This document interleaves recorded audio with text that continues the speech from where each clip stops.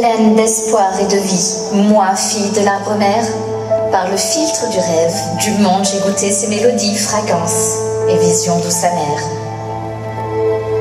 Les cimes froides murmuraient leurs antiques secrets.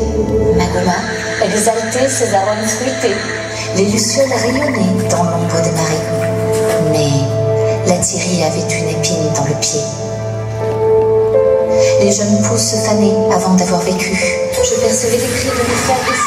Les fumées acres laissées par les légions vaincues, la silhouette menaçante du dragon ranimé. L'harmonie est en l'heure et la nature retorse. Pourquoi dans toute rose tant de malévolence Il ne faut pas juger de l'arbre par l'écorce. Je souhaite à tous plus de violettes, moins de violence. Une Sylvain de Guédoire 2, participante série.